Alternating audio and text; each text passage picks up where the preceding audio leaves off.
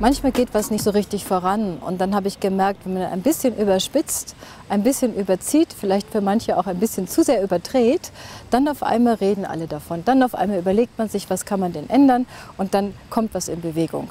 Deshalb ist es gut und richtig, wenn man ab und zu ein bisschen provoziert, dann kommt auch der Fortschritt. Über mich wurde ja immer sehr viel berichtet. Vieles war auch falsch, das stelle ich in dem Buch auch klar. Natürlich will ich mehr sagen in dem Buch als nur über Politik reden.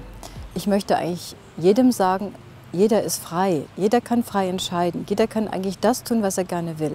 Wir werden durch unsere Ängste begrenzt. Das Buch ist auch eine Empfehlung dafür, mal die Ängste zur Seite zu schieben und zu sagen, wie möchte ich mein Leben wirklich leben und ich frei bin wie ein Vogel des Himmels.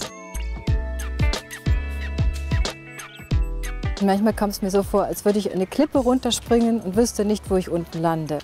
Aber auch da habe ich mir oft gedacht, war richtig so. Und wir haben oft viel zu viel Kopfgedanken. Manchmal ist das Herz wichtiger.